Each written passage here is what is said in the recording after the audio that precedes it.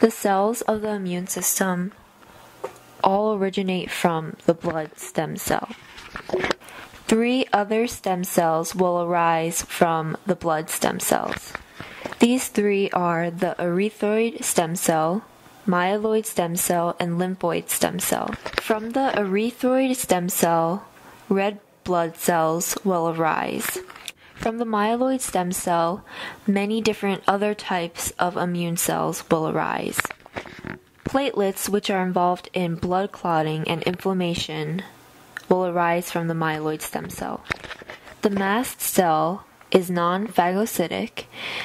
They are usually found in tissues near the external environment, like skin cells, and they also have granules that contain vasoactive mediators like histamine or heparin that affect the diameter of capillaries. Eosinophils, basophils, and neutrophils are granulocytes that are phagocytic.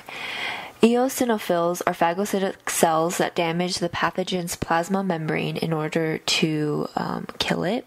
They also contain hydrolytic enzymes like nucleases, peroxidases. They also circulate in the blood in low numbers and will move to the area of infection when they're recruited to do so. Eosinophils are important in fighting worms and fungi. Basophils are also phagocytic cells that contain histamine and other things similar to mast cells.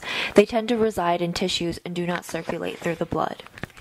Neutrophils are also phagocytic cells. They're the most abundant white blood cells in our bodies, and they contain different hydrolytic enzymes like lysozyme, peroxidase, or defensin. The neutrophils will phagocytose pathogens and then break them down with those hydrolytic enzymes. They circulate in the blood and will move to the area of infection when they're needed.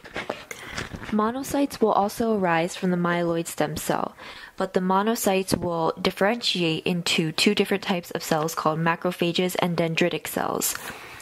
Macrophages are large phagocytic cells. Dendritic cells are named so because they look like they have dendrites emanating from them, and they detect and phagocytose pathogens. Once they phagocytose the pathogen, they're able to present the antigen on their surface and present it to lymphocytes in the specific immune system. From the lymphoid stem cells, natural killer cells will arise. They're part of the innate immunity and not the specific immunity of our immune system. They do not form memory cells, but they do destroy pathogens. From the lymphoid stem cells arise B cells and T cells. B cells can further differentiate into memory cells and plasma cells.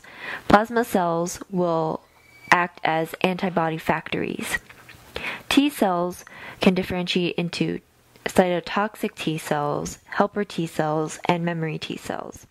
Cytotoxic T cells get messages from permanently damaged host cells that are asking to be killed and will kill them.